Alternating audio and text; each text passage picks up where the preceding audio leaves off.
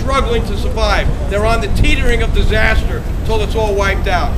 You call your council people, even all your reporters, and if you know any council person not signed on, with all these other great leaders, you got to ask them why not.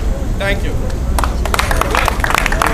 Now we have a representative of the Bronx, which probably has more small businesses than any other borough, running for city council. Ms. Tapia, please.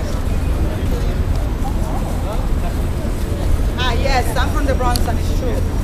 80% of the, Name. of the 85% of the businesses that are in the Bronx are small businesses. What is your And name? Yudelka Tapia. And I'm running for city council in the District 14.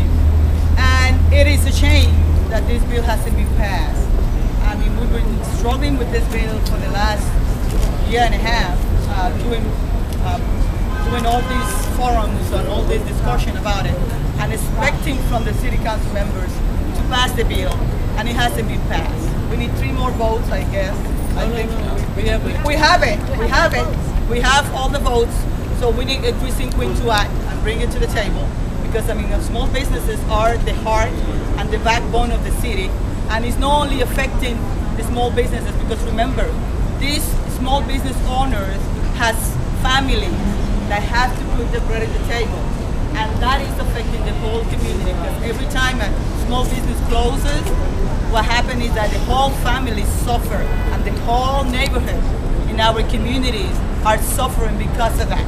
So I urge, I urge all the city council members that hasn't come up for this bill to come out because I mean otherwise the voters in their district and the whole and the whole city of New York are gonna take account of that this coming September 15th. And they're gonna vote against those one that hasn't that hasn't voted for this bill. So the time is now for them to act.